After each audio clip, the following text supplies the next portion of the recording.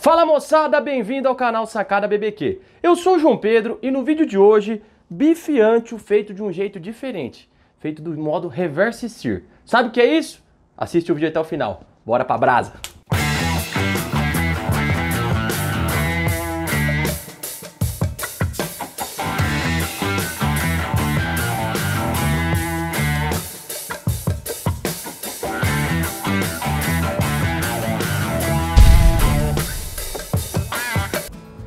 Bom, meus amigos, como eu disse no início do vídeo, vamos fazer um bife ancho com uma técnica chamada reverse sear, que significa selagem reversa. Como que funciona isso? Você pega a sua carne e coloca no andar de cima da churrasqueira, ela vai dar uma, uma cozinhada, vamos assim dizer, pegar uma fumaça ali, e depois você coloca ela na, na, na grelha embaixo, no fogo infernal, como um amigo meu disse, aquele fogo bem quente, e sela os dois lados dela e tira. E muita gente fala que esse é o jeito mais fácil de dar um ponto perfeito para a carne. Será? A gente vai ver hoje. Bom, meus amigos, também tem um outro tipo de reverse sear que o pessoal, que os americanos fazem muito, que eles defumam a carne nos defumadores, como vocês veem aqui no canal Sacada BB, que é quando eu defumo uma carne. Você defuma ela e depois finaliza na parrilha, certo? É um reverse sear. Então, vamos fazer essa técnica de reverse sear aqui no Sacado BBQ. O que, que eu vou fazer com essa carne antes de levar ela para brasa? Nada, sobre o pacotinho. Inclusive, gostaria de agradecer o Caio da Master Grill Carnes, sempre com carne de qualidade. Só carne top. Vou abrir aqui, vou pegar uma faca, né? Para abrir o nosso pacote aqui. E daqui, ela vai direto pro andar de cima da nossa churrasqueira aqui, ó. Onde não é muito quente, nem muito frio também, né? Lógico. E o que, que a gente vai fazer com esta carne para dar um sabor melhor? Vamos colocar uma lenha, lenha frutífera, no caso é de pecan. Mas você pode usar uma lenha de jabuticaba, de goiaba, de laranja, de limão, de café, enfim. Não pode, a única lenha, as únicas lenhas frutíferas, assim, não pode abacate, manga, jaca, essas aí não, não adianta. Então, vamos colocar ali. E essa carne vai ficar aqui por aproximadamente, acho que uns 5 minutinhos. Vamos ver a temperatura aqui. Uns 7, 8 segundos, tá? Eu vou até puxar essa lenha pra cá, que ela já pegou fogo. Pra não ficar com fogo muito forte lá. Que eu só quero fumaça nela.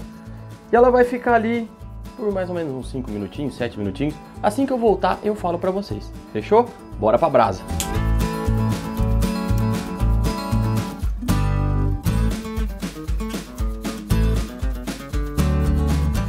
Bom, meus amigos, chegou a hora de virar nossa carne. Ó, dá uma olhada aqui como é que ela fica. Na hora que você vai virar ela, ó. Tá vendo? Esse é o ponto para você virar. Aí a gente vem aqui, vira ela. Ela ficou uns 5 minutos daquele lado. Ela vai ficar mais uns 5 minutos do outro. E ela pegou cheiro de defumado, gosto de defumado, que a hora que eu tirei aqui eu senti. E ela vai ficar ali, ó, tá dando uma defumadinha na lenha, tranquila.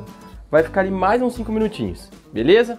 Aí a gente vai tirar ela, vai colocar a grelha aqui embaixo e vai torar o fogo pra terminar de dar o ponto. Fechou? Bora pra brasa.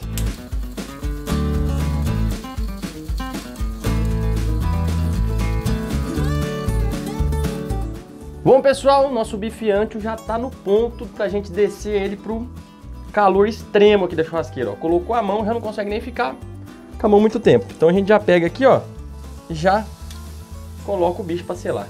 Quanto tempo ele vai ficar ali? Aproximadamente um, dois minutinhos, no máximo, no máximo. Porque essa carne já tá numa temperatura bem alta, né? Não tão alta como a gente tivesse selado aqui, mas mais alta do que se a gente pegasse ali na natura e colocasse no fogo. Então, vai ficar menos tempo do que uma carne que a gente coloca direto da tábua aqui. Fechou? Daqui a pouco a gente volta e eu falo exatamente quanto tempo ela ficou na grelha. Bora pra brasa.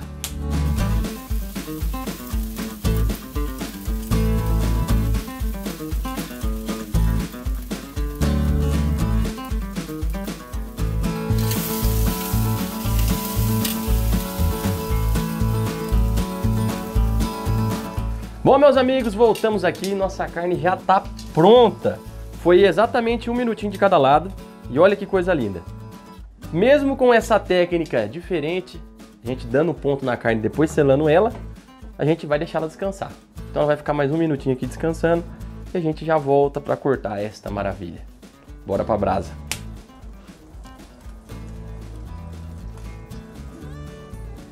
Bom, meus amigos, chegou a hora mais esperada deste vídeo. Vamos cortar o nosso bife ancho e vamos ver o ponto dele.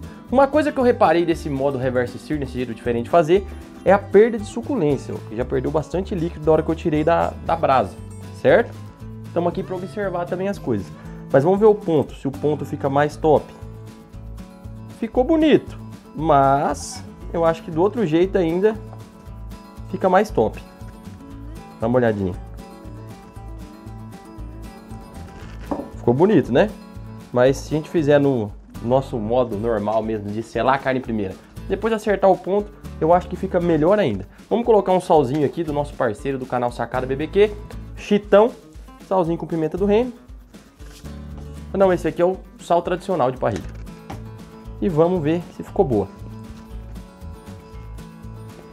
Hum. O sabor ficou muito bom. Pegou um gostinho de fumaça, que eu coloquei a lenha ali.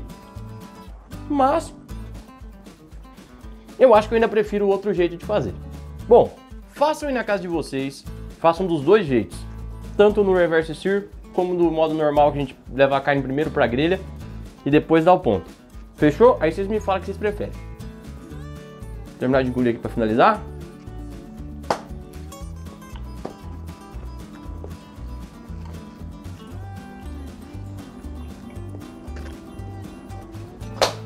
É isso aí, meus amigos. Muito obrigado por ficar até o final desse vídeo. Não esquece de se inscrever no canal, compartilhar com os amigos, deixar um like, deixar sugestão nos comentários e me segue lá no Instagram. Fechou? Bora pra brasa!